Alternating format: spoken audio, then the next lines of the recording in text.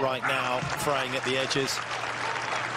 That is a couple of shut-ups back at her coach there.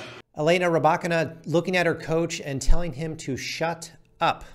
Take a look at this. And of course, between how she interacts with her coach Stefan out here, and you can see that right now, fraying at the edges. That is a couple of shut-ups back at her coach there, wanting trying to solve things out here on her own. Yeah, I don't think he loved that. There's an awful lot of chatter, and it just seems, especially when you're fatigued, it is tough to go from Indian Wells to Miami, win all these matches, play this late. Look, it's a very uh, emotional match tonight, very competitive between Pegula and Rybakina. Pegula from the USA, and of course, Rybakina from Kazakhstan. The coach, uh, Elena's coach, and we'll look at him uh, one more time right now. He gets uh, always in Rybakina's ear almost every single point. And I think Rybakina tonight, just in her emotional state, her competitive state, as I should say, uh, that sounds better um, it just got to her and she looked at him and and I've never quite seen that before uh, lately in professional tennis. Uh, player looking at the coach and saying, "Dude, shut up."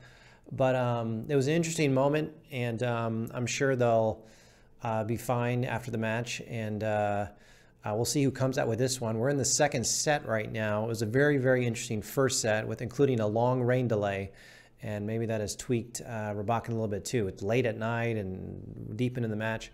You know, this is the same team. Uh, Rybakina has had the same team for a long time now. That seems to be a winning strategy for most players. Uh, for example, Iga Swiatek um, has had the same coach and same sports psychologist and, and all those people uh, throughout her uh, short career so far.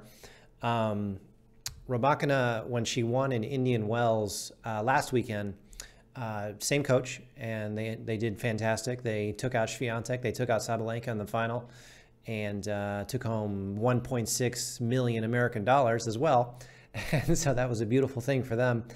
But uh, you know, during that uh, trophy ceremony, she thanked her team, and and and uh, right now they're having a little bit of a riff on court.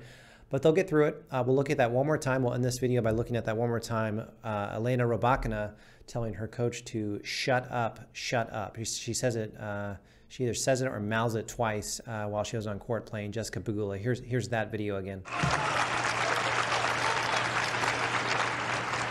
Advantage, Pegula. Amazing how quickly perspective can change. She's been so close to being such a dominant force in this second set.